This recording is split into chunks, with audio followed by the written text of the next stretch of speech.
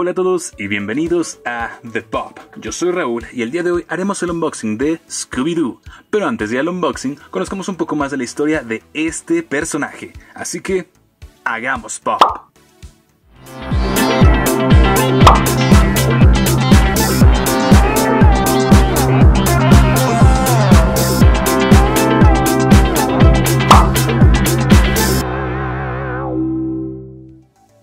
Scooby-Doo es una franquicia basada alrededor de una popular serie de televisión animada producida por Hanna-Barbera Productions, ahora Warner Bros. Animation, en múltiples versiones desde su estreno por la cadena CBS en 1969. El formato del programa y el elenco han cambiado significativamente a lo largo de los años. Las versiones más conocidas incluyen a un perro de raza grandanés parlante llamado Scooby-Doo y cuatro adolescentes llamados Fred Jones, Daphne Blake, Vilma Dinkley y Shaggy Rogers, los cuales viajan a lo largo del mundo en una camioneta llamada la Máquina del Misterio, resolviendo misterios relacionados con fantasmas y otras fuerzas sobrenaturales.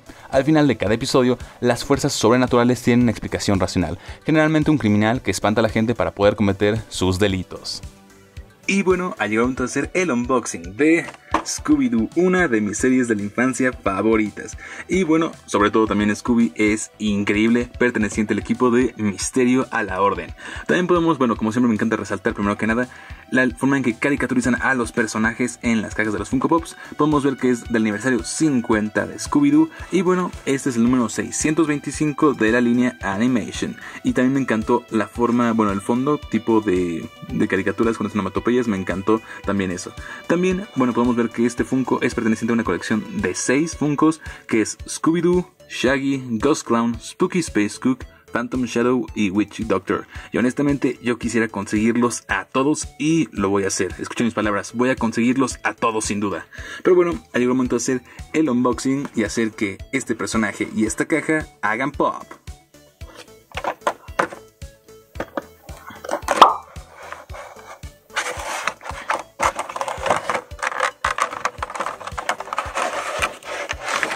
Bueno, viene primero que nada con el protector de plástico que me gusta, que viene con sus selladores para evitar que se caiga el Funko y eso me encanta. Ahora sí, vamos a ver como tal el Funko. Primero que nada vamos a ver si se para por sí solo y la respuesta es que Sí, se para perfectamente y véanlo, se ve adorable este Funko. Me encantó Scooby-Doo como lo hicieron en Funko Pop. Hay muchas versiones de Scooby-Doo, este, ya sea flocked, o sea que viene como afelpaditas y de otros colores y otras formas y posiciones, pero me encantó este que viene con su baguette.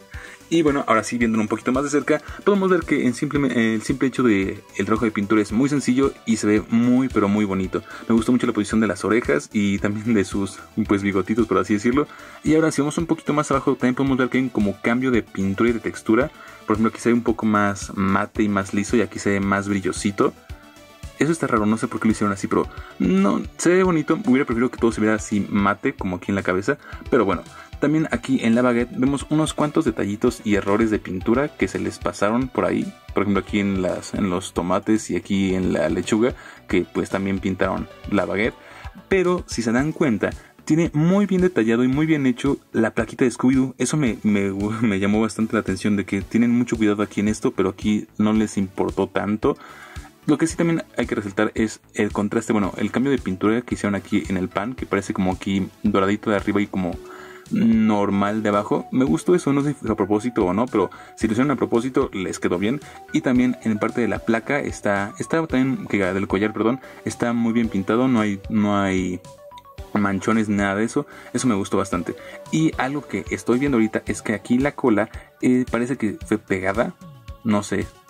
No sé, no sé si se alcancen a ver, pero parece que pues la pegaron así nada más y eso no me gustó tanto, pero a mí me da igual, total, simplemente el hecho de tener Scooby-Doo ya se ve increíble, está precioso este Funko, pero bueno, esa es mi opinión, espero que sé que a algunos les puede pues molestar esos detallitos, pero bueno, esto ha sido todo por nuestra parte, espero que os haya gustado mucho el video, no olviden darle like, compartir y suscribirse y dejar en los comentarios qué otros Funkos, qué otros Pops, qué otros lo que sea quieren consigamos para seguir haciendo contenido para ustedes. Vamos a darle a Scooby-Doo un último vistazo y recuerden que somos The Pop.